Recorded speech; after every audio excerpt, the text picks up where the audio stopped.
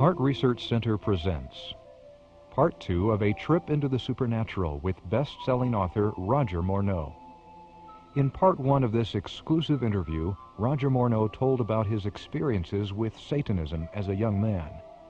Joining him again in Part 2 are Cyril and Cynthia Grossi, who helped Roger break away from the power of darkness to discover a loving God. Conducting this interview are Dan and Karen Houghton of Hart Research Center. Let's now watch the conclusion of A Trip into the Supernatural.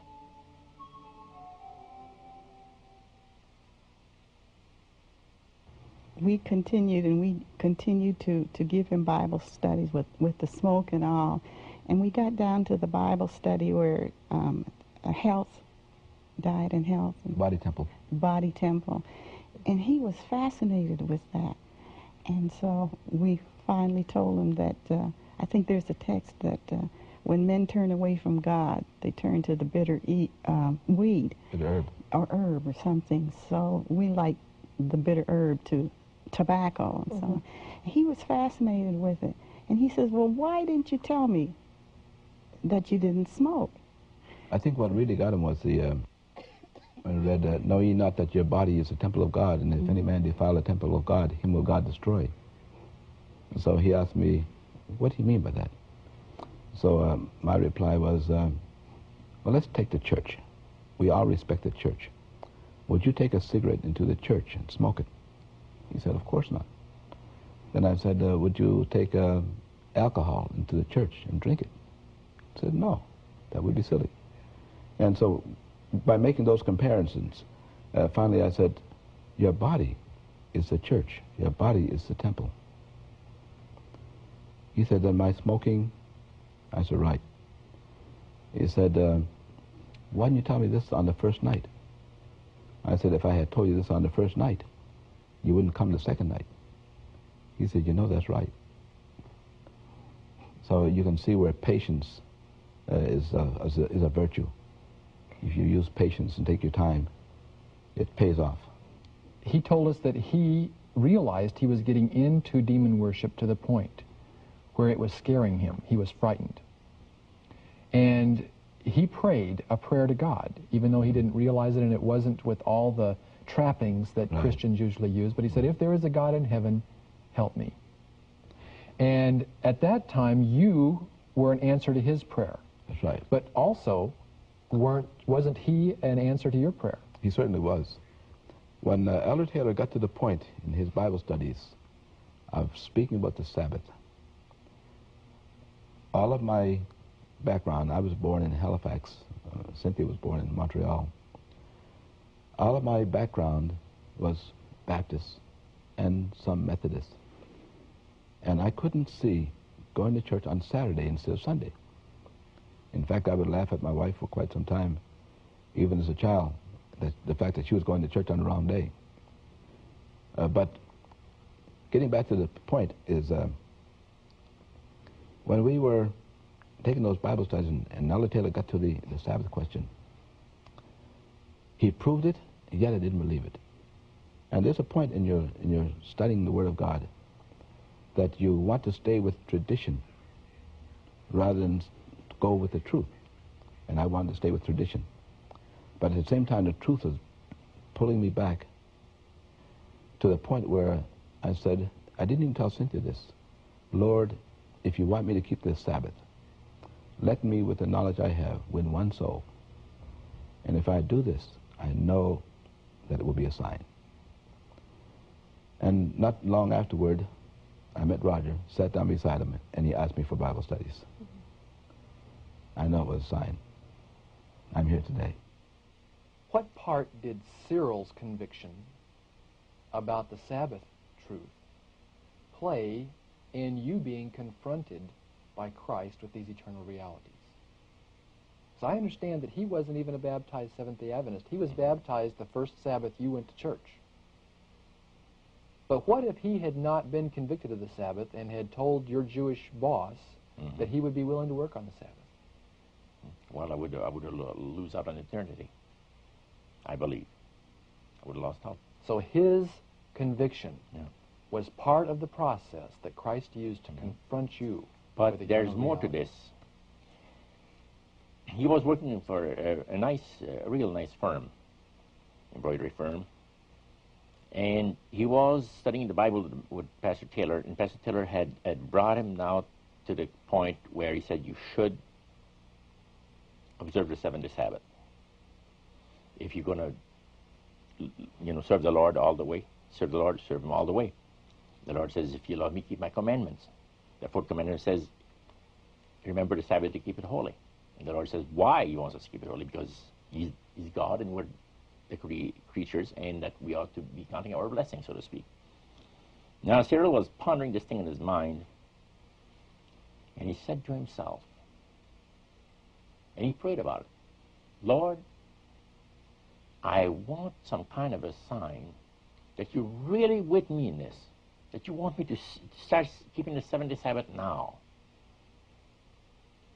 But Lord, there's something missing. I tell you what, if you make it possible for me to meet someone that doesn't know about the Sabbath, because not many people know about it anyway, and that I'm able to convince him of the importance of the biblical Sabbath of creation, then he says, I'll know that you want me to start giving a Sabbath now, instead of next year or some other time. And do you know that prayer was answered in two weeks? We figured out a time. About a time that I said, there's a God in heaven that cares for me, help me. I think it's a couple of days after that that, that he made a decision that, hey, Lord, show me. I know, you know, I, I just love, would like to enjoy the experience of knowing that you're listening to me and that you're doing something special for me. And I'm doing something special for you because I'm obeying your commandment. So in reality, Roger, you were an answer to his, prayers, Yeah. before while you were still a spiritist. hmm Cyril, did you and Cynthia know at this time when you were studying with Roger that he was involved at all with spirit worship? You know, the Lord blessed us mightily. He blessed us with uh, the fact that uh, we were completely ignorant of anything. And uh, I would not advise anybody to openly go and do something like we did with having the knowledge that uh, this person is a devil worshiper. Because no person has the power to overcome this on their own. Uh, but I feel uh, very impressed that the Lord, the Holy Spirit, guided us, and our eyes were covered until a certain time that we could handle it. And when was that time, Cyril? When did you discover that this man worshipped demon spirits? Uh, we discovered that midway between the lessons, and uh, I don't know what, exactly what point it was, but one night he came, and uh, we had previously studied on the unpardonable sin. And he came with tears in his eyes, and he was very upset.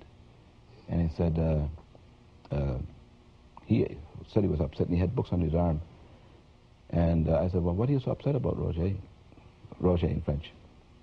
And he said, well, you don't know what I've been doing. So I said, look, the Bible says all manner of sins will be forgiven. And he said, but you don't know what I've done. So after he told me what he had been doing, worshiping the devil and uh, getting acquainted with devil worship and going very deep into it, he showed me some books. And when I opened one of the books and read some instructions on how to worship the devil, I closed it up. I said, I don't want to see this. And uh, I said, but one thing I want to make clear. I said, if you had committed the unpardonable sin, you would not be here willing to study the Bible. And therefore, the scripture that says all manner of sins will be forgiven applies to you. I said, you must consider yourself forgiven, and you must forgive yourself. And we went on from there. I didn't even know what a devil worshiper was. I think we were both very naive. And uh, so I went along and I said, well, I tell you what, we'll leave the fact whether the sin is pardonable or unpardonable to God, and let's finish the Bible studies. that that was all of the um, information that uh, knowledge that I had, and it wasn't until later. And then he began telling us, uh, you know, a little bit about the troubles he was having, and I, I thought that was rather unusual, and and and we're being involved. Now, Cyril, whenever you did learn, you and Cynthia, about this spirit spiritism business. You immediately had a question about whether or not it was real. You, you, you, you were really naive about that. Now, tell us, you, you had some special dispensation, uh, some special work with the, uh, with the police department there in Canada, and you had the ability to carry a gun, is that right? Yes, I had a permit to carry a gun. And uh, when he told me that not only was he having these manifestations, he was also having, he heard footsteps walking down his hall. He lived at the end of a long hall, and his door was the only door down that hall. And the footsteps would stop as at his door, then a rap would come to the door. And we were also having trouble with the union at that time. So when he told me about these rappings on the door, I said, no, that's only those union people trying to come and get you. Yeah. So I said, uh, I'll scare them away just the same as I scared them away when they came to get me. And so I had so much uh, faith in the gun that, uh, don't forget, I wasn't baptized at this time. That's right. I had Sure. uh, faith in this gun.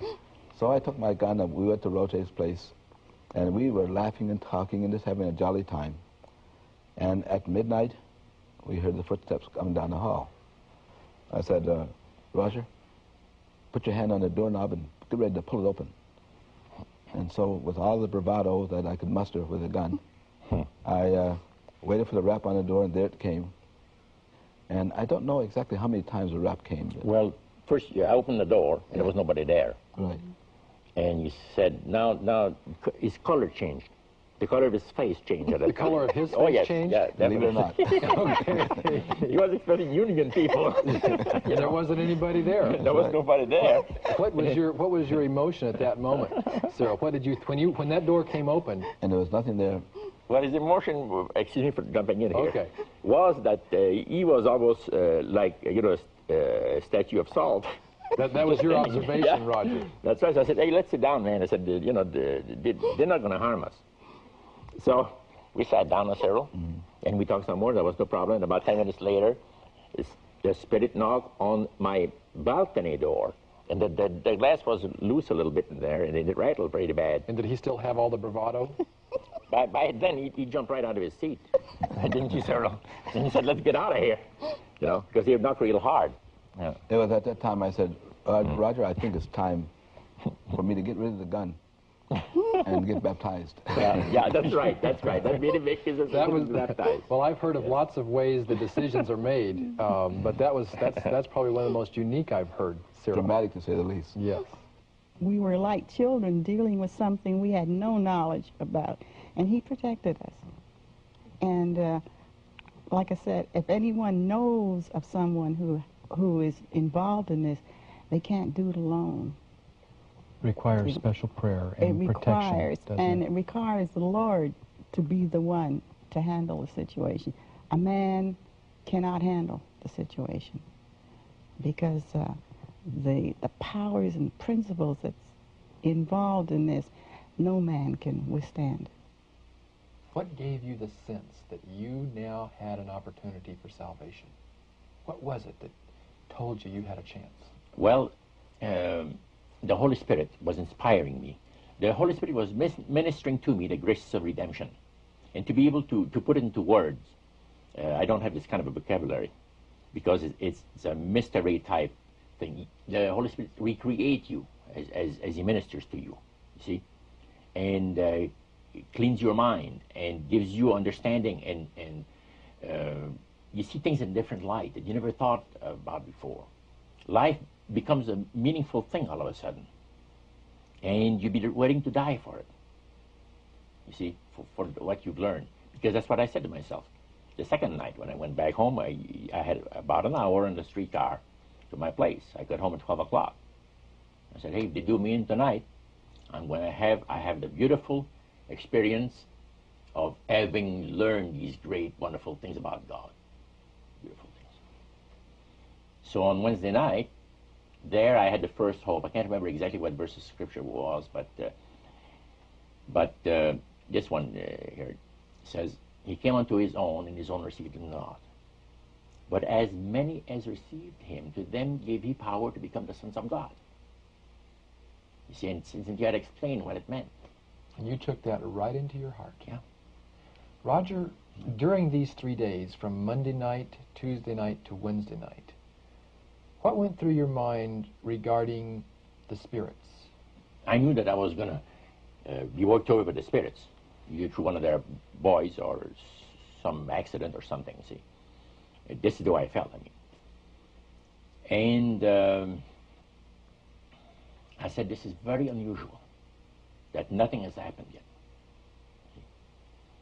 And I'm going home on Wednesday night again with, with another appointment for Thursday Bible studies at 7 o'clock. Now, let me make sure I understand. You had missed Wednesday night's Spirit Yeah, Praise oh, yes. service, Uh, yeah. at which time you were supposed to have I've made your there. full commitment. Yeah, I would have And you had been at a Bible answer. study instead. That is correct. Okay, so what happened next?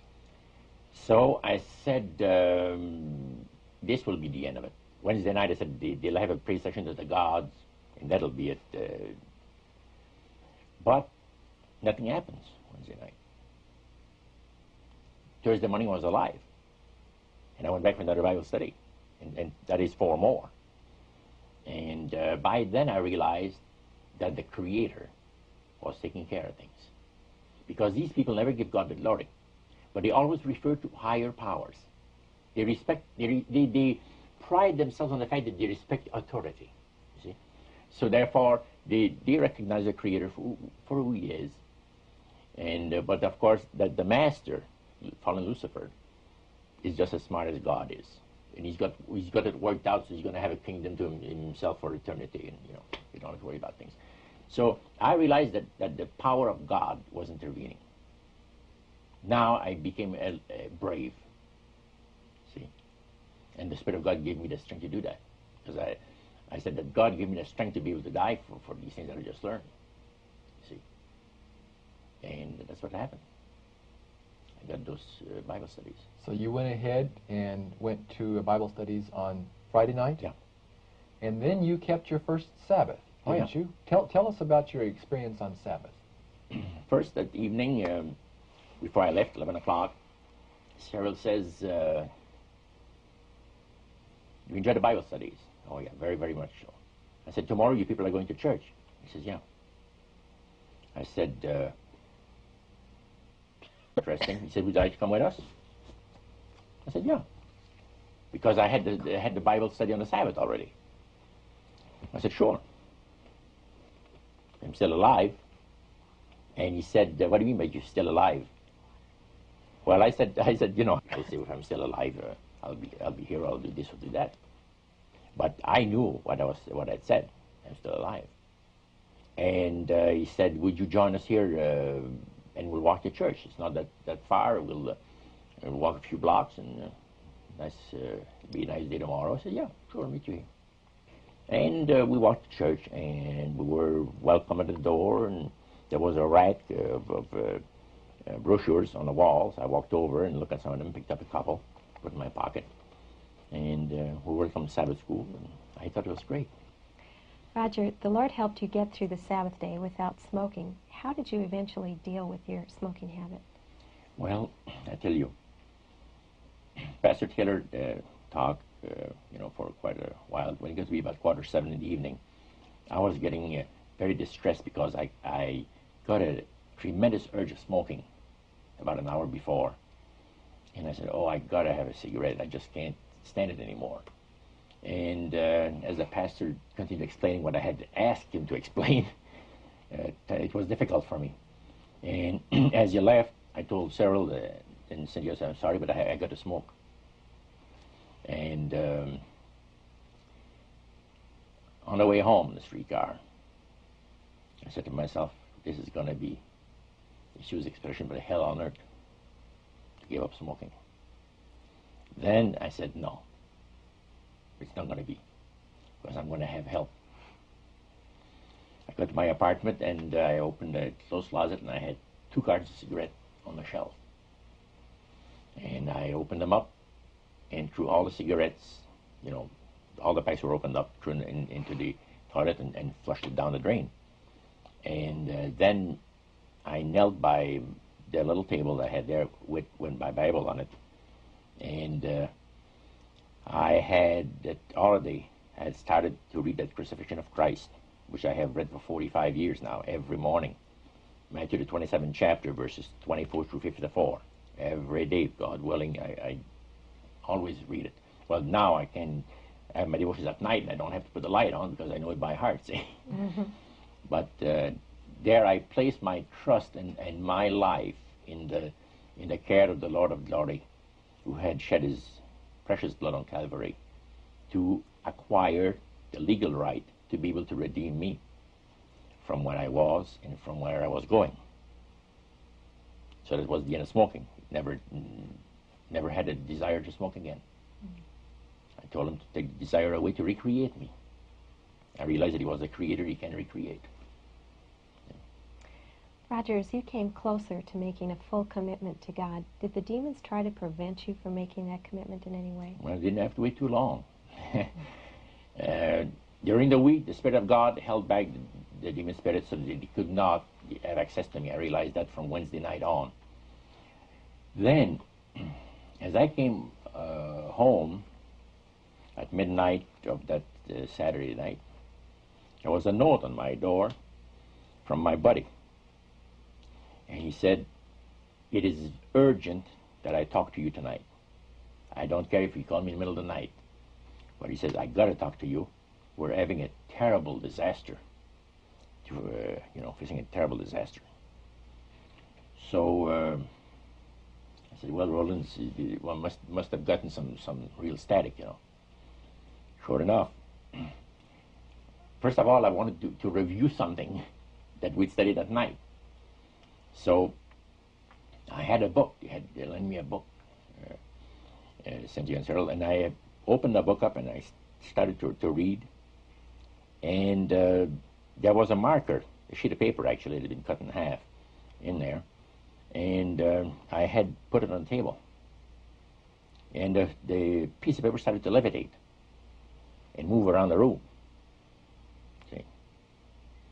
So it didn't bother me. I knew I knew what was was doing it. And then the, the sheet of paper came and, and stood about a foot above my book. Then it was slammed down on the book, and the book fell on my lap, and almost into the floor. I picked it up. And I felt like saying, telling the spirits, you know, buzz off. But uh, I had understood that is, I would not again talk with spirits. I made up my mind on that. So I picked up the book again, started to write, and then the spirit picked up the book and threw it across the room against the wall with tremendous force. So I decided, well, I'm going to go and phone my buddy, see what he's going to do. There was a, a phone, a public phone in the hallway. I didn't want to use it. I went down to a, a diner or restaurant or is uh, down the block, and I called him up. How's things rolling? He says, man, he says, Oh. He says, Don't you care for my life, Morneau? What kind of a friend are you? I've been suffering, he says, since Wednesday. He says, trying to get a hold of you. And he says, I've been waiting at your door. What time did you come home? I said, come home at midnight. He said, you're in real trouble. Because this, the high priest, as a spirit appeared to him, Wednesday evening and told him that you had you were studying the Bible with some Christians, but you were not just studying the, studying the Bible with Christians. You were studying the Bible with Seventh Day Adventists, the people that the Master hates most on the face of the planet. How in the world did you get yourself involved in something like that? Don't you care for your life? I said, sure. Beside that, he says, and he told me uh, other things that the spirits had told, uh, you know, uh, the uh, high priest. So it went, the conversation went on the phone for a while, and I said, now listen, it's not possible for me to explain to you over the phone what has taken place in my studying the Bible four hours per evening, you know, through the week. Why don't you come to see me tomorrow sometime, and I'll give you the reasons, the real reasons why I did what I did. He said, okay. So we made an appointment for uh, sometime Monday, uh, Sunday morning. And uh, I went back after my phone call. I went back to my apartment.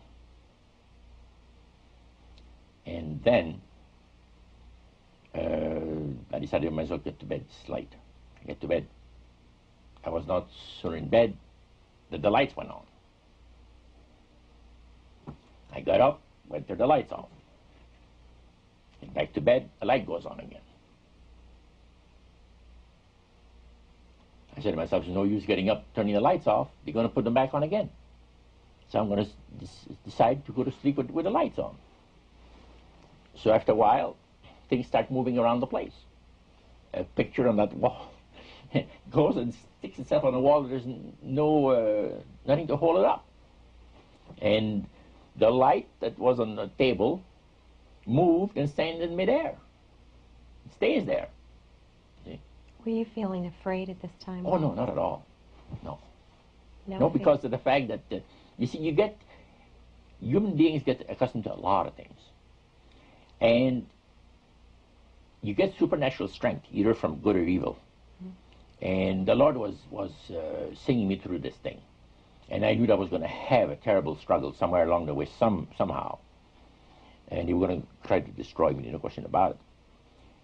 So, after this nonsense had gone uh, quite a while, I I went on to sleep. Hey, I'm going to get my rest. I'm tired. I said, Lord, you know, bless the old guy. I was not old in those days, no, but I said, bless the fellows. I can get some rest from these spirits. And I went to sleep. And it woke me up about 2 o'clock in the morning again. And at 4 o'clock, now four, at 4 o'clock in the morning there, I, I sat up in bed, pushed my pillow in the back, and I said to myself, what in the world am I going to do? Because the Lord doesn't clear them out of, uh, me. Then I, I got a thought that maybe the Lord just wants me to know from the spirits exactly how things are, uh, how I'm standing with them. And I said to the spirit, "You want to talk to me?" The spirit said, "Yes, finally, and we will talk to you. What in the world do you think you're doing?" You see, the Lord had held back even on the spirits that the spirits could not talk to me. I realized that they were under a very special control. So I got talked with the spirit. And I realized that he was a spirit counselor because he said, The master has tremendous plans for your life fame, honor, respect, wealth. Don't you value any of these things? I said, I said, I want you to know, Spirit, that uh, 10 days ago I would have grabbed your offer. But now you're talking to a former spirit worshiper, and I'm educated to the reality of life, especially of the reality of eternal life. And I said, I'm not interested. For about maybe two or three minutes, maybe four minutes, and it's a long time. In a conversation, there was n- no response to what I had said. It was like he was totally amazed by your Yeah. courage. Yeah. Then, when the Spirit spoke again, he had a, a, a, a tremor in his voice. In other words, you know when a person gets really desperate in a crisis situation, your voice is, is, changes.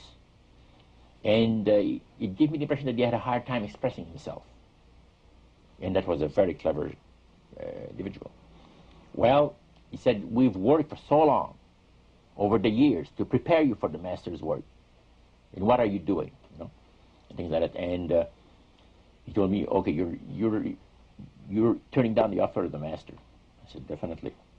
He said, from now on, he says, you will poverty will be the lot of your life. That is, he says, if you can manage to stay alive. And he says that I doubt that, that you won't gonna have much of. He says your days are numbered. I said, you know, Spirit, the high priest has mentioned about higher powers. I'm I affiliated now with the higher powers. And I said, I don't have to concern myself with you or your master or any of the other spirits because you're all losers. I am the winner. A hundred million years of perfect life, recreated, translated, or resurrected body that I'll have. Uh, my years will be i- i- counted into the millions of years. If I take the offer of the master, what do I have? I'm 20 years of age. And even if I live to be 100, how can you compare that to 100 million years? And I'll have a, all the gold that I want and the silver that you're offering me, and more. So I'm not a loser no more. I'm a winner. And the Spirit, the Spirit says, will destroy you. And he laughed. He had this, this, this was frightening. For, for, for one time, he had this laugh that, uh, that caused me to think immediately of the laugh that Nero, instantly, Nero must have had on his face when the lions were tearing the Christians apart. That's the thing I said, this is the way that Nero must, must have laughed. When the, the lions were tearing Christians apart, you know, in the arena of the Colosseum in Rome. Yeah. So how did the Spirit finally leave, Roger? Finally leave, almost took the door away with him. he left through the balcony door, and the door um, was slammed open, yeah, open, and the, the doorknob almost went through the plaster in the wall. Did he leave on his own accord? I commanded him to. I commanded him in the name of the Lord Jesus to leave my place to come no more. And he left. And he left. And instead of slamming the door shut behind him, like a person would, he slammed the door open as he went out, and it slammed in, in, into the wall of, of and, and the doorknob. Cyril may still remember. You could see the imprint of the uh, doorknob in, in, the plaster of an, the house was maybe uh, 50 years old, so the plaster had been settled a long time. You commanded the demon to leave by the blood of Jesus Christ. Yep. He left, slammed the door. Did you go back to sleep? Yeah. And then the next morning, your friend Roland came over. Well, uh, between that, I'd like to tell you a little okay. bit more. I woke up in the morning, of course, and I said, my, hmm, time to get up. And uh, my Bible, my night table was to my left. As I was laying in bed, I, I put my hand on the Bible, and then I started to shuffle, you know, the pages like this. Mm-hmm. And I was thinking about many things, and I was doing this. And all of a sudden, I opened the Bible, wide open. And then I got thinking about it again. Never realizing what I'd done. I got up, and after uh, I straightened myself out a little bit, I, I, I look at the, at the Bible, and my eyes fell on this uh, Isaiah chapter of uh, Isaiah, uh, uh, the prophet, and I got reading, and it was the experience of Ezekiah when uh, Sennacherib, the great general of the armies of the Assyrians, had uh, compassed about the city of Jerusalem, and he was telling uh, that he might as well give up, open the gates, you know, you're not going to survive this because we've destroyed all the nations uh, that we've gone through before getting here. And uh, I was very impressed. The fact that Ezekiah took the letter that the general had sent him and he went in the temple of the Lord and placed it before the Lord, and he talked to the Lord about the, the letter. You see? And asked for his protecting care and, and, guidance. And when he had not yet returned to his to his castle, when as Isaiah came, the prophet, and he told, uh, he says, the, the Lord has got a message for you. The that Sennacherib has come, that's the way he's going to return. And uh, I love that prayer. A prayer. I memorized that. It was a beautiful prayer. Because I got it from that moment on, I got an inner desire to fortify myself with the Word of God. Because every time that I that I read the verse in the Bible that applied to my condition, I received encouragement and strength. And I said, This is what I need to do. I'm going to fortify myself with, with the Word of God. I'm, I'm, going to memorize the Word of God. I, I, I write there and then I took a piece of paper I underlined those verses of the prayer of Hezekiah in red in the Bible. I wrote down on a piece of paper, put it in my pocket, my coat pocket. So when I traveled on the tramway, you see, I could memorize uh, that. And I've done that now for uh, 45 years, and I'm still memorizing things, you know. Because Elda says to me once, she said, are you still memorizing? I said, yeah. Why are you memorizing? You know so much of the Bible and everything. I said, well, I need some more. You gotta, yeah, you gotta have, uh, keep feeding yourself spiritually. And that was the blessing that it, that it was. I saw there A beautiful deliverance. And then I read the rest of the chapter, and it shows that during the night, the angel of the Lord went out. So when the general and his uh, officers uh, woke up in the morning, they look over the camp, and all their soldiers were dead.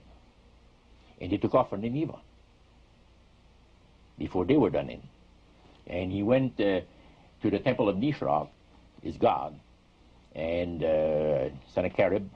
And while he was worshiping there, uh, his sons came in and put a dagger in his back. And they fled to, to the land of the Arameans. I was very impressed with that. And I had I left it, the, the Bible open there. I had my worship. When my friend came over, uh, the Bible was still there. So Whenever your friend Roland came over, you had just finished your worship time and you had read the story about Yeah. Sennacherib. Mhm. What did he say? Was did he feel agitated? Was he upset? Oh, yeah. He came in and sat himself down and he said, I can't believe it. Not, of all people, he says, not Morneau, would do a stupid thing like daring the spirits. No. He said, you're, you're, you're an intelligent man, Roger. You You know, you, you got a choice. The high priest tells me that if you come to see him with me now,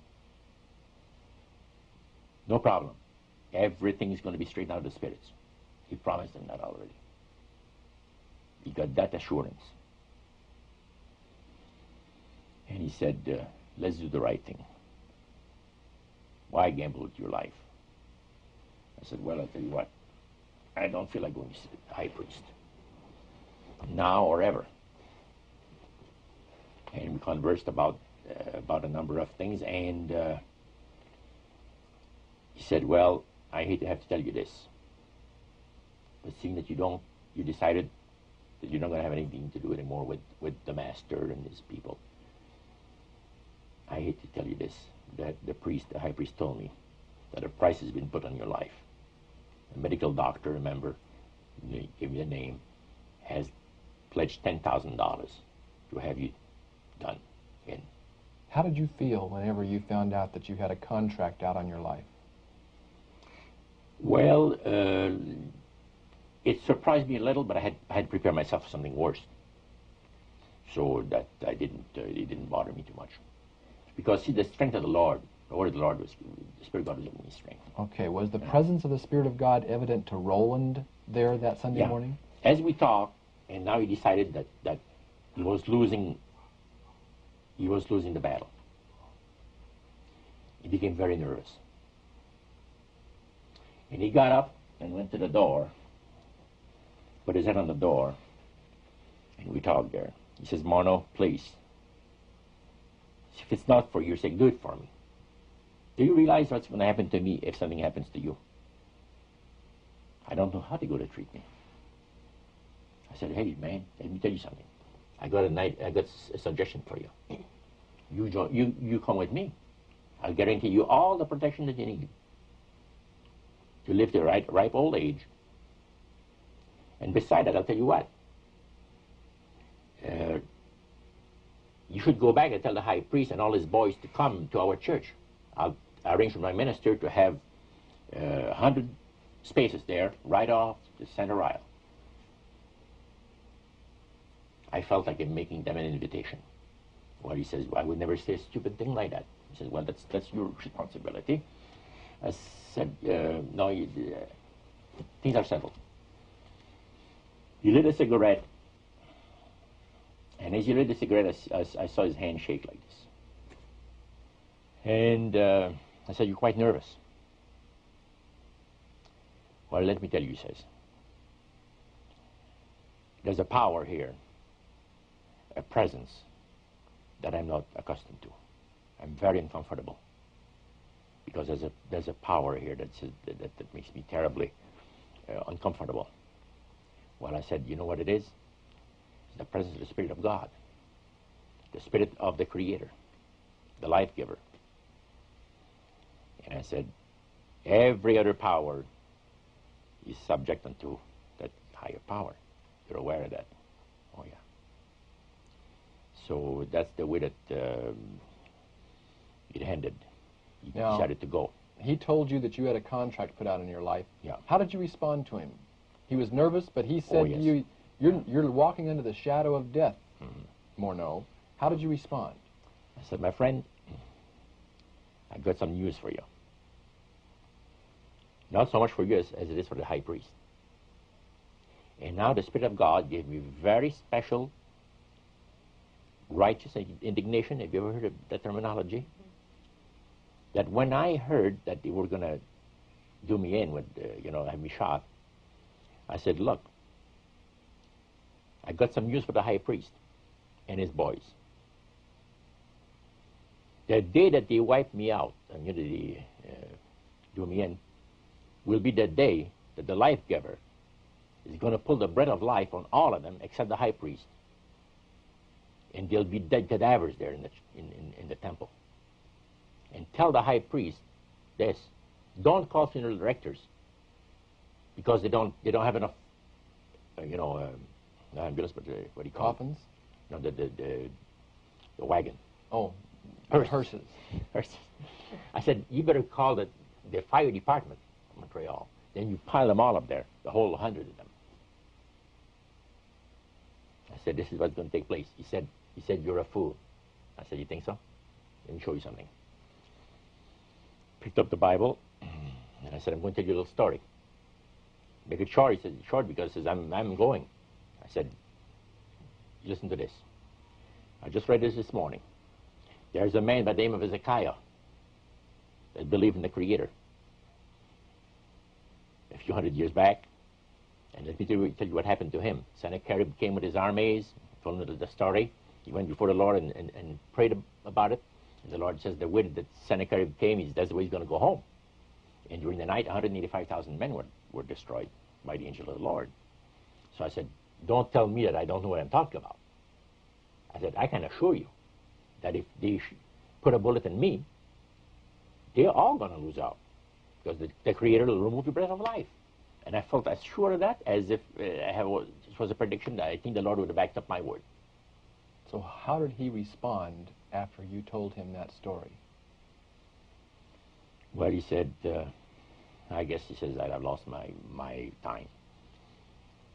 Before we part, he says, I don't want to even shake your hand because you're not a friend of mine no more. I said, have it your way. If ever we meet one another anywhere in the city of Montreal, don't you ever look at me like you know me because I'll ignore you and embarrass you, he says, wherever we are. He says, fine. No problem with that at all. Now, Roger shared with you hmm. that his former associates that worship demons, that were part of that elite uh, spirit worship group in Montreal, hmm. were very unhappy with him, as were the demonic hmm. powers, for studying, especially with Seventh-day Adventists. That's right. Did he ever share with you or tell you that there might be some danger involved for you? He did tell us um, something that rather startled me. He said he got a call from somebody in that organization, and uh, they threatened our lives, and they knew us by name. And of course, nobody followed him. And I had to assume that the, the powers of darkness were able to communicate to those people that worshipped what our names were. They knew our, our names. And the, the things, uh, some of the events that followed were such that I, I attribute them to, uh, to demon powers. Cynthia, there was a, an event that was a little startling to you and to Cyril, and I know Roger was interested in it as well.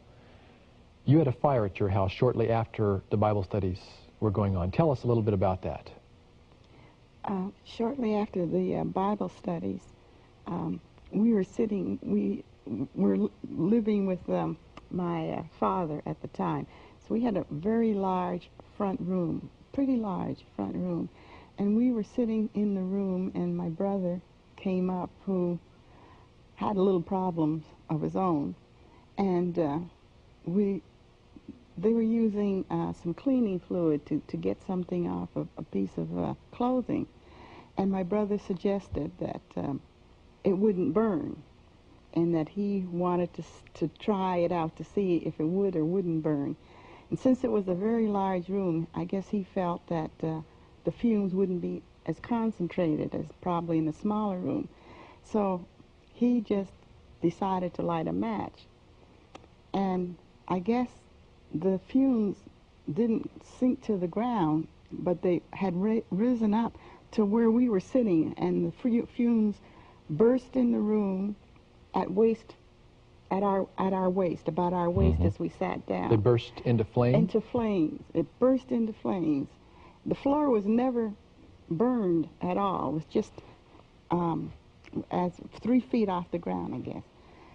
And um, everybody disappeared. And Cyril, he went downstairs to get a blanket, and my brother, he disappeared. I was in, in further into the room um, near the window, which was on the front side of the house.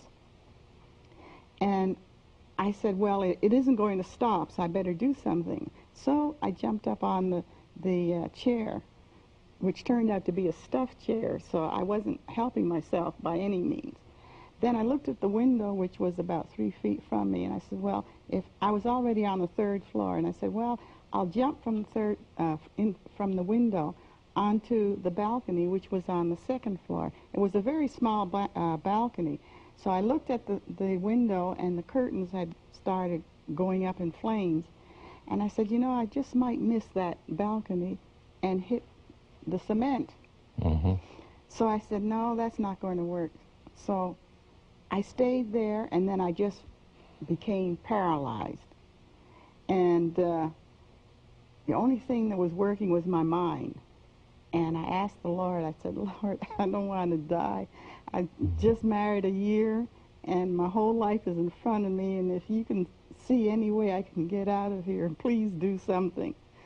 And um, I waited, and I, I didn't get any answer. And pretty soon, as if somebody had hit me to knock me off the chair, the force of it, somebody said, jump now, which meant no questions or any other kind of rationalizations I was giving it. And I bent down to, to, to start a sort of a broad jump. And at that side of the room, I was at least eight feet from the door. And I got down, and between me and the door was a radio, um, a floor-length radio, with a lamp on it. And when I got down, when I crouched down to make the broad jump, I was outside of the room before Cyril came upstairs with the blanket. I don't remember how I got there. You were just kind of moved. It just moved. And then what happened where you had just been? The um, the can of gasoline apparently was It sitting. wasn't gasoline, it was naphtha. naphtha was was uh, right by the chair, and it blew right up, a big hole into the ceiling, just as I moved away, and uh, my hair was burnt, all my face was burnt, and well, not all, right around here, and my eyebrows were gone. And uh, and he asked me, he said, how, how did you get out of the room? Because by this time the room was totally in flames. And I said, I don't know. I said, but I prayed. And I was there. He didn't need the blanket then. The Lord answers our prayers in spite of what the devil may try to do to us, doesn't to he? do. After the fire, and we moved away, and we were getting ready to come to United States, we, of all places, moved in with an Irish family. The In- in a party- French neighborhood. In a French neighborhood. Partying, they loved to party. But we stayed to ourselves pretty much because we, we felt that we would soon be leaving the country anyway. And they turned out to be really nice people. But while we were there, we had several um, different things happen. Like, for instance, we would say our prayers and get in bed, and then the doors would start slamming, and the windows would go up, and the wind would come through the room. And it terrified us. And uh, so we went to bed every day, every night, with our Bible under our pillow. We'd turn on the light, and everything would be calm, like, you know, as you expect.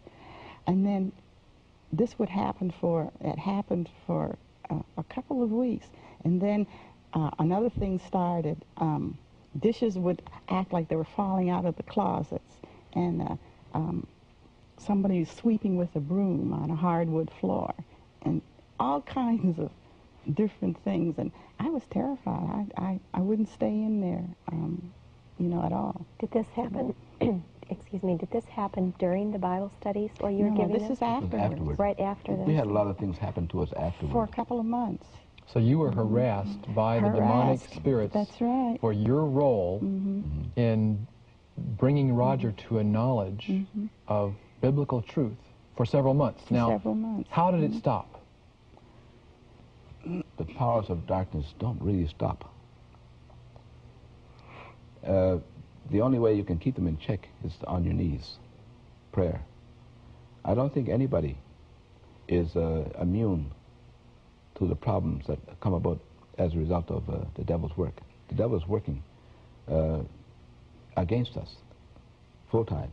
He knows his time is short, and there's no way of saying that, oh, he, he stopped. Because when you say he stopped, that's the time he's going to start. We still have problems today that uh, we know that uh, the devil is behind them. Many of the mistakes that we make, or that we think we make, have been we, we've been set up most, in most cases, and that's why the Lord wants us to pray without ceasing. Has there ever been a time whenever you were experiencing a difficulty that you felt was the direct result of the demonic forces being angry with you? That you wished that you had never met Roger? Never, Yeah. never. I'd do it all over again. If, uh, if the same situation occurred, I'd be willing to do it all over again. Uh, there's no, life is not as important as eternity. And a soul is not, uh, cannot be uh, turned away because uh, of your own fear or your own lack of uh, courage. There will never be a time when I was, I'd be sorry. After the demon left you that Saturday night, did you have any more demon harassment over the next few months, or was it just over instantly? No, it was not over uh, instantly. Every night, the spirits knocked on the walls, knocked on the doors. I was awakened two, three times a night. But it, they were trying to uh, reopen conversation with me. The Lord would not allow them to uh, to bother me in any ways, except that they they tried to open uh, to have commun- communication with me, and that it seems that the Lord, see, we the, the Creator has given us freedom of choice. You can choose good or choose evil. You see, that's your prerogative. Uh, it's a freedom that He has given us, which is beautiful, freedom of choice. Well, of course, the enemy of the Lord says, "Hey, I want access to it. At least you can allow me to knock on the door." He responds, you lost him. He's mine.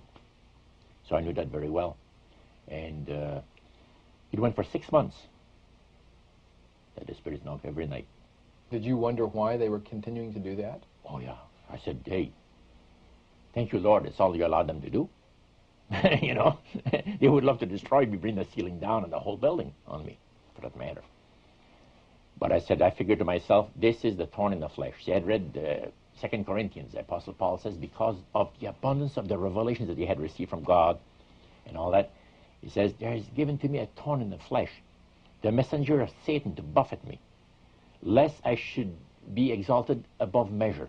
You know, because the human, fallen human heart just loves to think good of itself and becomes proud and vain and uh, sin against its, its creator. And uh, the Apostle Paul says, I'm going to pray about it. He said, For this thing I besought the Lord thrice. Three times he prayed about it. And the Lord told him, My grace is sufficient for thee. For my strength is made perfect in weakness. Isn't that beautiful? So the apostle said, Therefore, most gladly will I rejoice in my infirmities, that this, the power of Christ may rest upon me. And I said the same thing to, to the Lord. Lord, if, if you want these critters to, you know, uh, be after me all the days of my life and knock and wake me up every night, that's okay with me. That's the least I could put up with, you know. So when did it stop? Well, one prayer meeting, uh, the minister says, "How's things going?" He says, "With your Christian walk." I said, "Sir, couldn't go any better." He says, "I'm glad for you." you know. This was after the prayer meeting. We're just leaving, and he said, uh, No problem with the spirits at all, huh? Oh, the spirits, well, yeah, they, they, they're trying to open communication with me all the time. You knock every, uh, every night, they wake me up. You do? How can you put up with that? there's no, there's no other way. Oh, no, no. He says, wait a minute now. He says, it's my fault I didn't tell you this.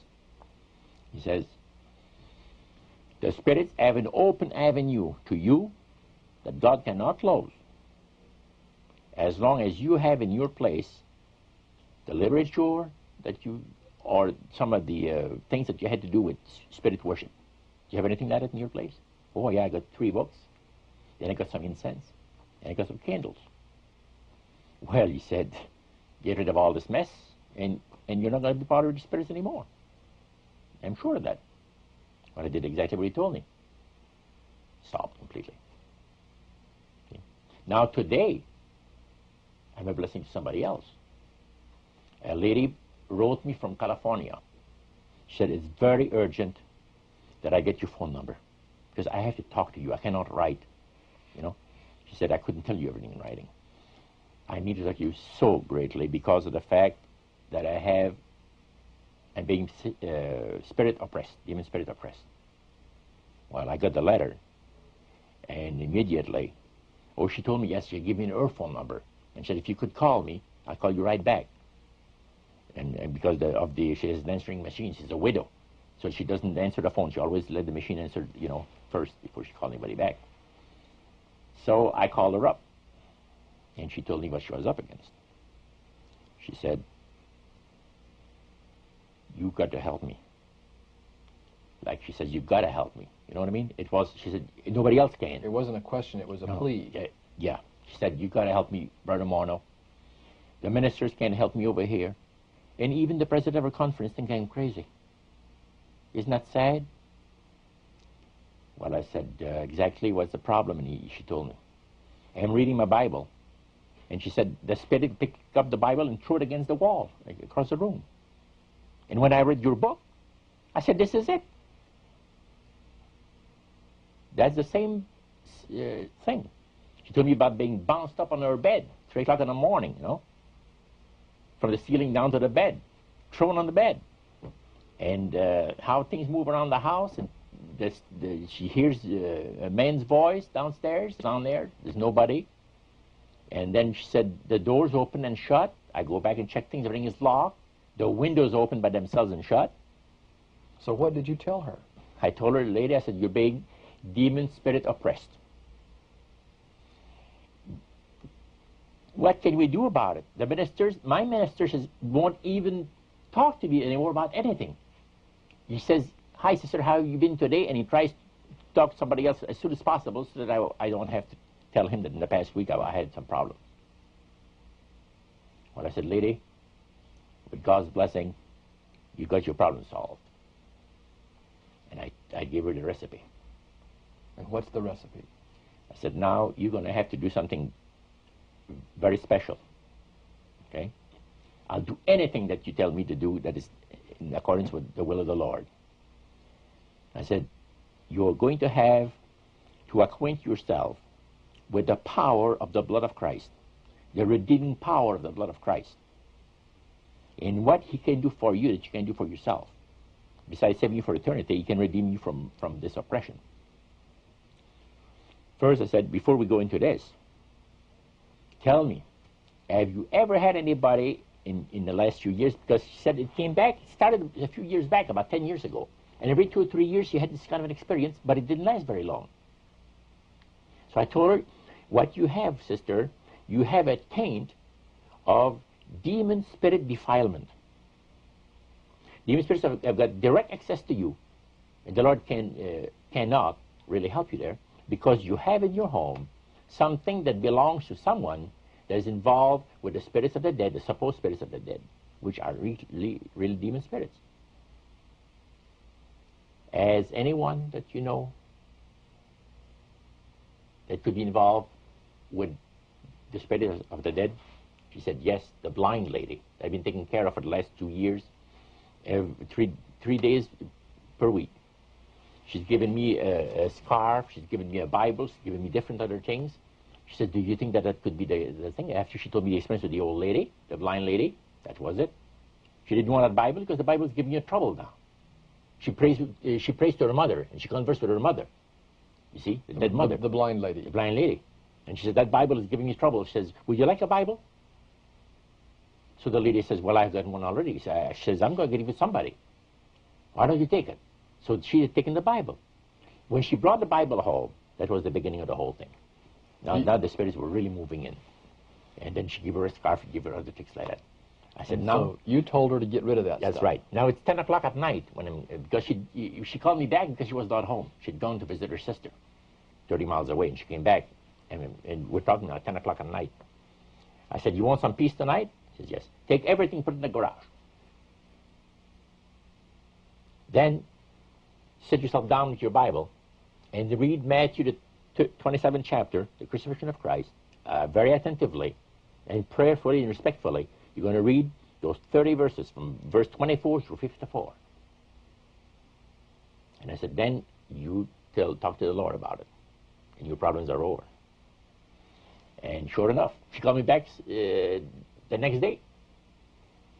It was on a Saturday night. She, uh, she called me first. Called back, no problem at all. No noise, nothing. It's gone. It has not returned. Except once. She phoned me up. She says, there's a problem. Yes? Yes, I, I hear the, the, the, walking again. How you do?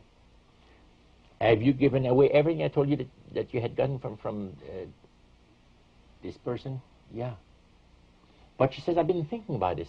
There's a man, she says, that uh, dated me. You know, her uh, husband died, right? And uh, a couple of years later, uh, somebody in- introduced her to this man. And uh, they went out for a few months together, and then she decided uh, that he would never become an Adventist because of the fact that he believed in the spirits of the dead so much. You know, and especially of his cousin. To talk about his cousin all the time. And he had given her a lawnmower. I said, you got a lawnmower in the place? He says, yeah. Get rid of the lawnmower. Take the lawnmower and put it outside of your garage. Don't have it on your property. She called me back. She said, everything's fine. You, You, mean to tell me now, Roger, that if someone who is a spiritist Mhm. or is involved in any form of spiritualism Yep. gives something to someone that they have in their home, Mhm. that that gives the spirits the right An avenue, open avenue. Yeah. Now, a lot of people are uh, afraid that people are going to put an X on them because if they take a piece of your hair or, or something that belongs to you, you put an X on you. That, that's palone. The Lord takes care of all this nonsense. But when a spiritist or somebody that's involved with demon spirits in some form or other gives you anything and you bring it to your home, the, the spirits have got access to your home openly at all times. And the Lord cannot help you. I'm sorry to see it. He cannot help you until you voluntarily remove those things. That is correct. Yeah. But that does not mean that he doesn't hold them in check because they Oh, yeah. would love Yeah, to they would destroy. destroy them, yeah. I've come across a lot of people that have been writing to me, and they said they've been they've had demon spirits cast out of them by one of those deliverance ministries. And I have one lady that she's been 10 years now since she had demon spirits uh, casted out of them, uh, out of her. It took 13 hours, and they, are praying and talking with the spirits to get the spirits out of her. She said it was like a couple of hundred spirits, you see, in her and all that. And this person's spirit has been destroyed completely. Completely destroyed.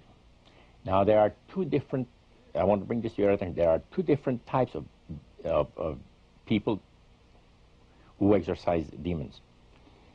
You mean exercise? Exorcise, you know, casting demons casting out. demon, spi- uh, demon spirits out of people. Okay. Um, you have that in the African religions.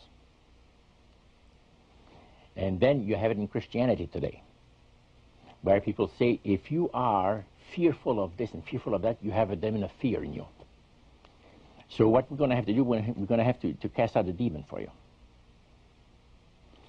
And when these people listen to a sermon from one of these people, these pastors, And there are actually preachers involved in these deliverance Oh yes, ministries. definitely. That's what that's what's so sad about it. What happens is they, they put on a, a sermon in a church talking about the fact that many of you are undoubtedly demon possessed. You don't know it. Is it possible to be possessed by a demon and not know it? Well, no. Not if you're a Christian. If you are uh, yielding your life to Christ every day, day after day after day, you don't have to worry about demon spirits getting into your life. See? Now, what happened is this. The speaker talks about the fact that he has delivered people from demon spirits. There was 100 spirits that came out. It took 10 hours of praying and of, of wrestling with the spirits to get them out of there. Now, by the time he's done with his sermon, a lot of the people that have different problems, for instance, one preacher says, if you have this certain type of allergy, this certain allergy, you're demon possessed. While this poor sister says she believed that she was demon possessed. And she said, now, if Jesus could not keep me from being demon possessed, what kind of a God is he? In the back of her mind, she thinks about it. So in reality, what you're saying is that these these supposed deliverance ministries mm -hmm. that are mm-hmm. that are dealing directly with the occult and casting demons out of people are not are dangerous. Yeah, and dangerous. In Matthew the seventh chapter, the Lord says, Many shall say unto me in that day, Lord, Lord, have we not prophesied in your name? In your name have cast out devils, in your name done many wonderful works or miracles. And I will profess unto them, I never knew you. Depart from me, ye that work iniquity. And this is, this is a, a strong uh, message that he's giving to somebody, some preacher. Well, it's a, it's, it's a tremendous destruction of Christianity that these ministries are doing. They're doing a great disservice to Christ. What specifically is the problem with a deliverance ministry? A person that is involved in this type of ministry, where they communicate with the spirits, where with they them. Talk, they talk with the spirits and Talk ask the them spirits. their names. Yeah, yeah. They have lost touch completely on Christ. The blood of the atonement has washed away from them. They think they're doing the work of Christ, and they're doing the work of the devil. Because they're tearing people's faith down in, in Christ. There's one lady that's been calling me every week now, every uh, year Friday night, uh, and she's a, a commandment keeping person. Or on Sunday, calls me for a year for a year and a half. As soon as my book on prayer came out, she's had demons cast out of her and all that. That person's fate is so low that uh, I wonder why, how she's able to keep keep alive keep believing in Christ. She called me here at 11.30 at night, Christmas Eve, last Christmas. I answered the phone. She said, Brother Morneau, I got to talk to you. I'm sorry to have called you so late. And she cries, and she cries, and I said, lady, what is the problem? And she, she finally was able to, to uh, uh, you know, stop crying. And then she told me, I was just washing the dishes a while ago, and a man's hand was placed on my left shoulder. I quickly turned around, there's nobody there. So she says, the same spirit that has been trying to take the wheels off my car and driving down the road. See? She had that experience also. The wheels were coming loose. She pulled in the service station. She says, something wrong with my car. The guy says, well, yes, you look at that. The nuts have, have gone on your front wheel. So he tightens the nut. She gets back in the car, tighten the nuts, I should say, there's five of them, drive down another mile, and the same thing happens to do the same on the back. She stopped at a service station, and the guy says, yeah, look, he says, uh, the nuts are coming off the wheel. And this is a lady who had had All these hundreds of devils Yeah. cast out of her 10 years ago. Mhm, Yeah. So she said, what am I going to do? I said, you're going to do what you need to do. Fortify yourself in the merits of the blood of Christ. And then I have to rebuild her confidence in the power of the Creator. See? Talk to her about Colossians, about the creative power of Christ. That we are complete in Him, which is the head of all principality and powers. See? He's created them all. So anyway, that this lady, she told me, she said, would you mind if I call you every week? Because it seems that when I talk with you, I regain faith in the merits of blood of Christ, enough to be able to sustain myself for a week. But then she says, if I don't call you, by the middle of the week, she says, I'm ready, I'm ready, she says, to die. You know? She's a person of responsibility. I won't say where she works. She works for the federal government, and she's in a high position, highly paid person, and, and uh, uh, superly educated, and, and, a beautiful person, you know, and, and beautiful intellect. But uh, the person, she says, I'll never recover from this thing. I said, yes, sir, sister, you will rec recover from this. Don't you worry. What did you recommend to her?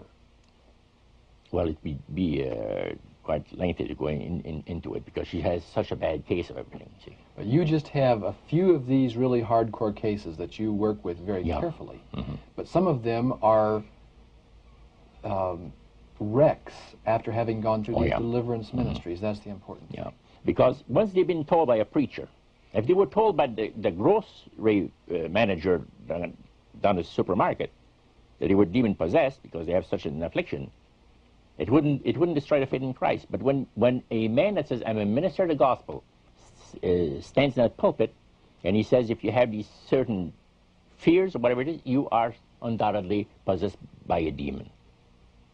Now the first thing that hits the mind is that what kind of a savior do I have that couldn't keep me from becoming demon possessed?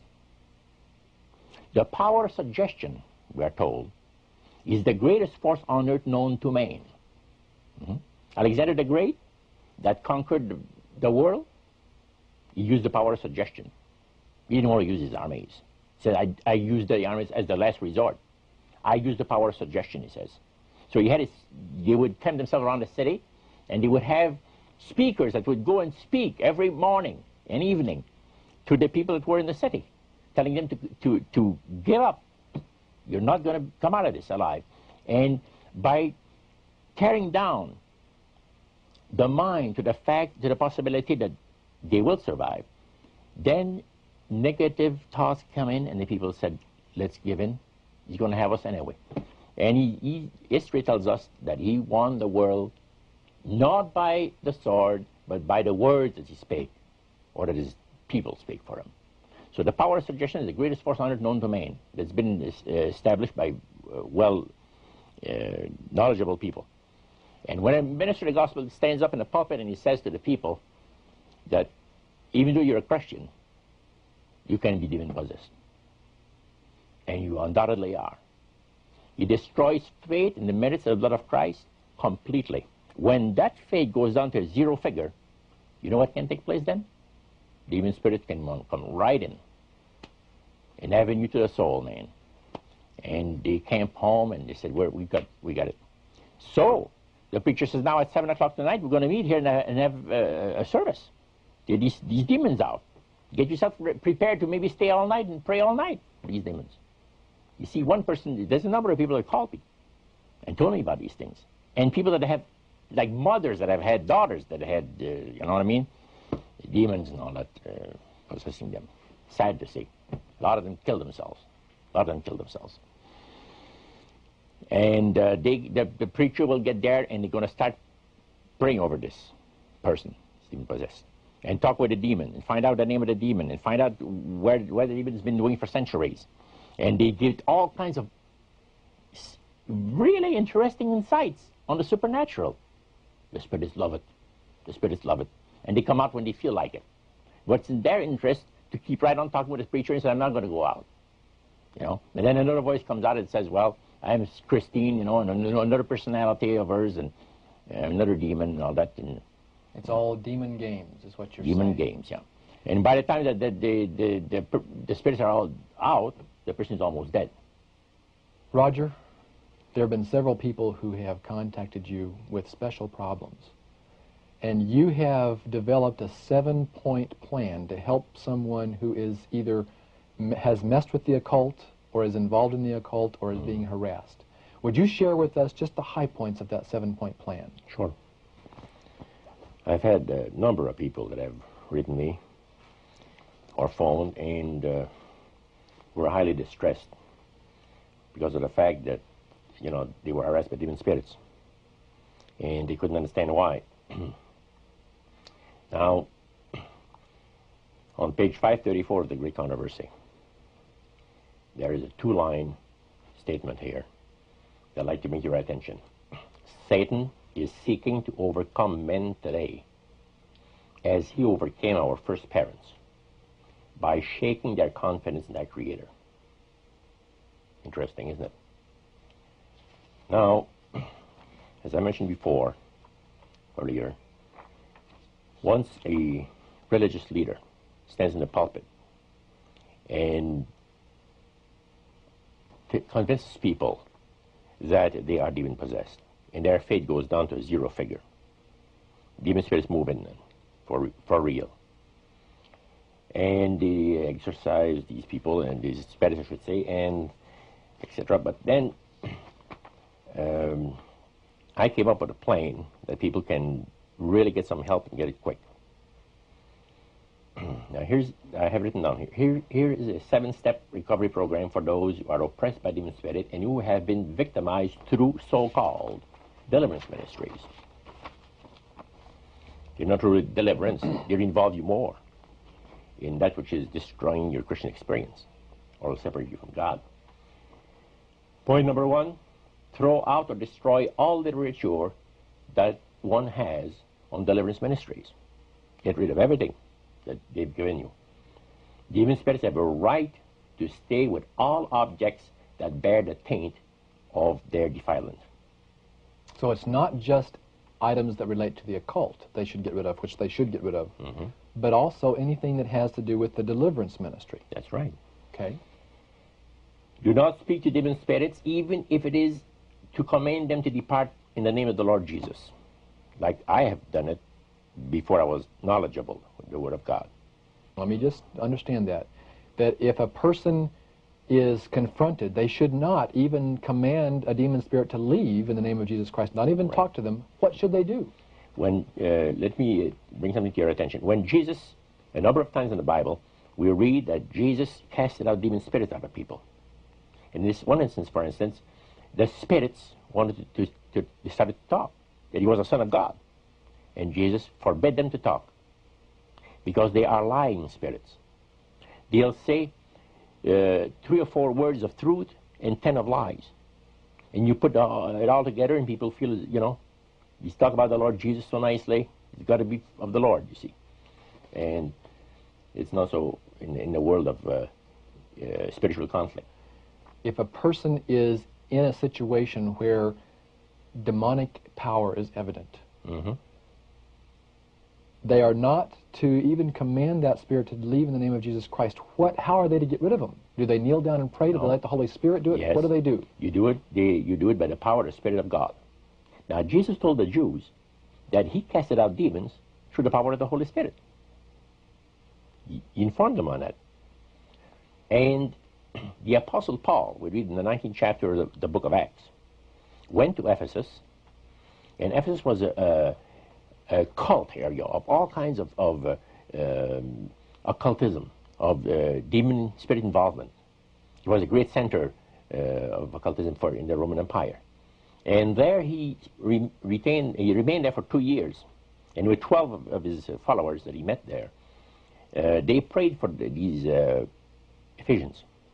They were pagans. They were, you know, there was no Christians living there at all. And we are told that he did a tremendous work, or I should say better that, the Holy Spirit did a tremendous work in, as a result of their prayers. And the Spirit of God rested upon Paul so much that people would even come to him and, and with handkerchiefs and with aprons, it says. And the Bible says, and I quote verses 11 and 12 says, And God wrought special miracles by the hands of Paul, so that from his body were brought unto the sick handkerchiefs and aprons. And the diseases departed from them, and the evil spirits left them. Or, or, you know.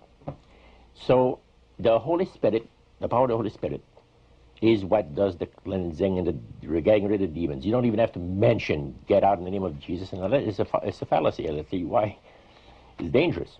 That's what it is because the spirits will re- reply to you uh, most of the time, and you get involved with them, and you're you're a loser because you become tainted. So immediately then, if you are confronted with a demonic power, Mm-hmm. the thing you would do is pray and ask the power of the Holy Spirit to remove that demonic force. That's the correct Oh, yeah. procedure. Mhm. Okay. I, I've I've dealt with people that were demon possessed, no question about it. In my business of, of yellow page advertising, certain persons that nobody wanted to handle the account. This, this guy is weird. One guy says, "I think he's demon possessed." He was a Baptist, I think this guy's demon possessed. I will never handle this account again. Yeah.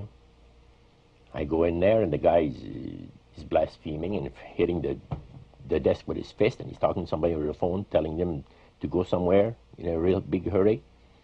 And I just start praying for the Holy Spirit of God through the medicine blood of Christ shed on Calvary to do the work which Jesus said he, he would do. And by asking for the blood of Christ to be appropriated to this man, and that his sins be forgiven him, he probably hasn't confessed his sins in 20 years, he has no desire to, but he's entitled to the freedom and the deliverance that Christ gives to us through his shedding of his precious blood. And I've seen people just like a big balloon that you put a, a pin into. The pressure is gone. The guy smiles. Hasn't smiled in a month. You know, one guy says, "Hey man," he says, "You know something? You've been here ten minutes, and it's the only ten minutes I've had of, of rest in the last week." He says, "What are you? Well, who are you anyway?" you know, he says, "You've got a special power you, man." Did you tell him it was the Spirit of God with you?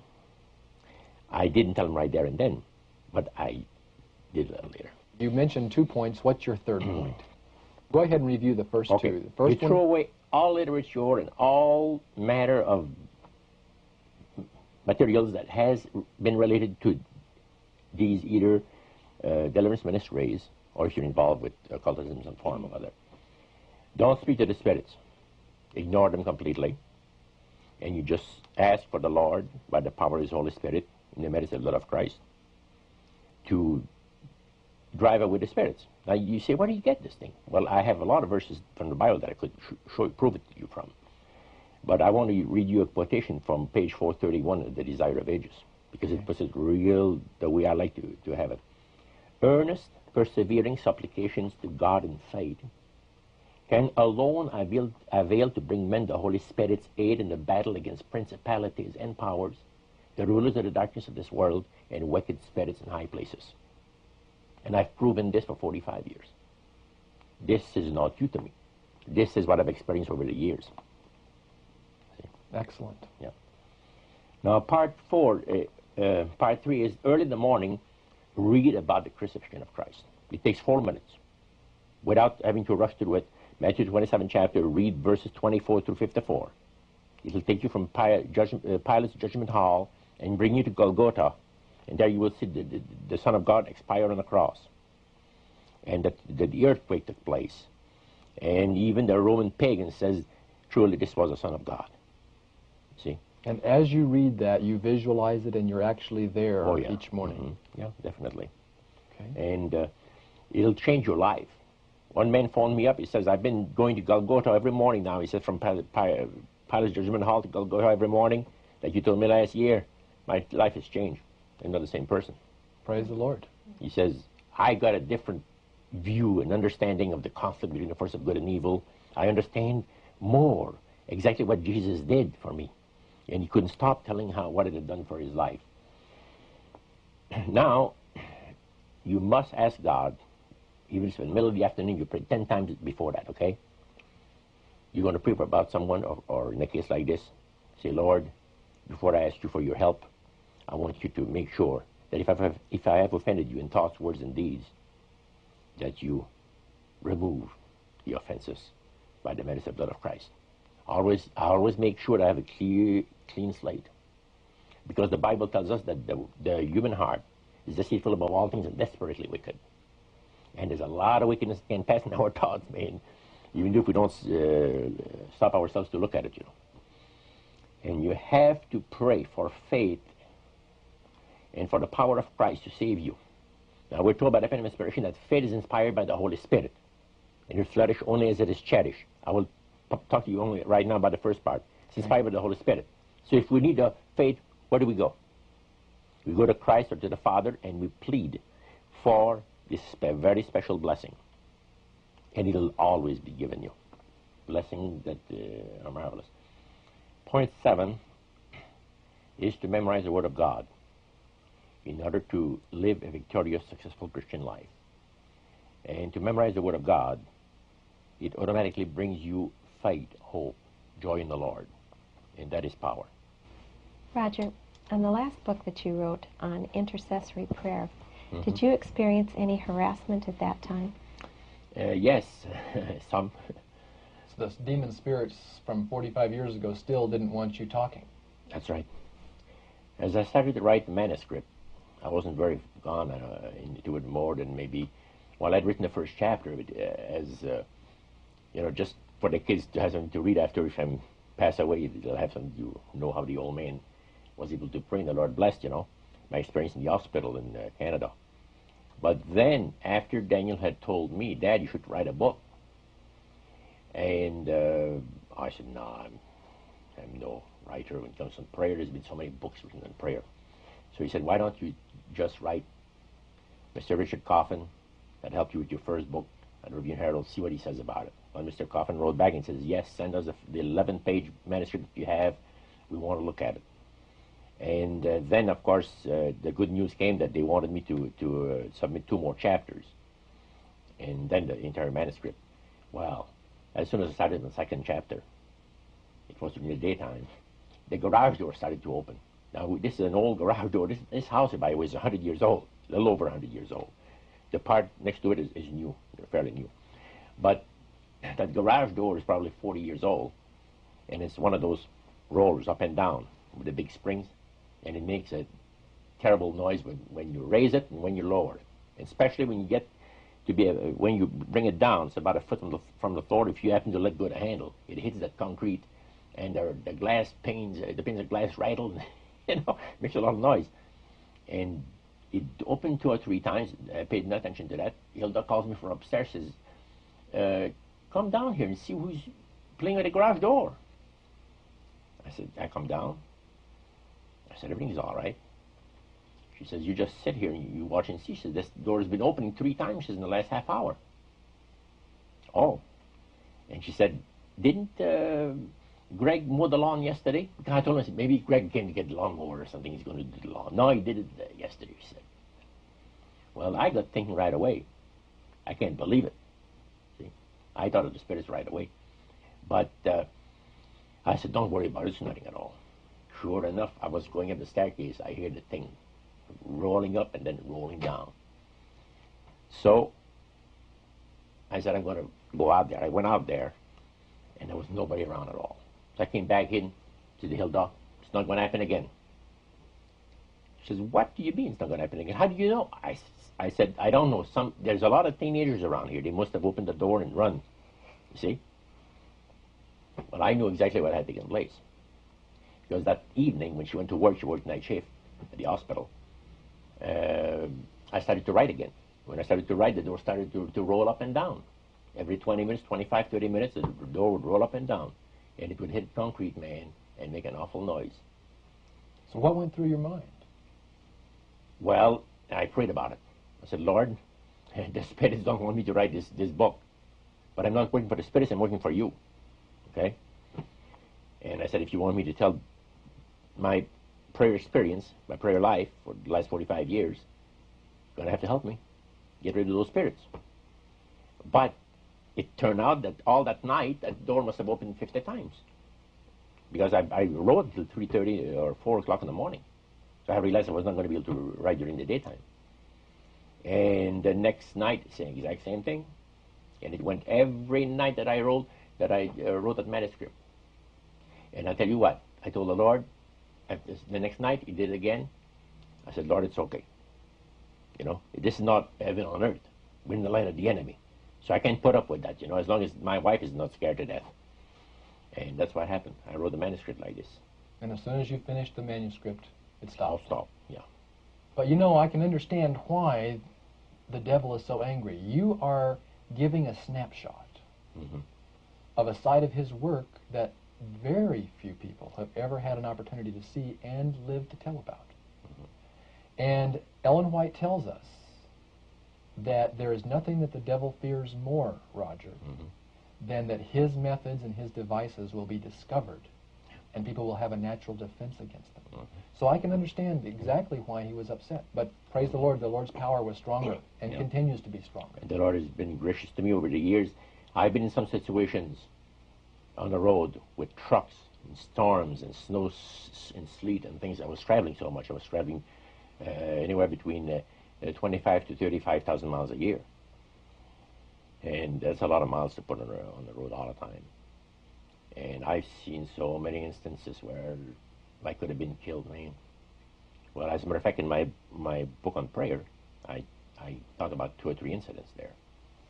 Well, it occurs to me that there's an old rule that says if you play with fire, you're going to get burned. Yep. And fortunately for you, 45 years ago, you were rescued, kind of a brand from the burning, That's right. Roger, and your testimony lives on. Yeah. You've walked into the shadow of death for 45 years, according to the priest, but if I read correctly in your book, you said you wouldn't mind that as long as the Creator walked with you. And he right, has, yeah. hasn't he? hmm Definitely.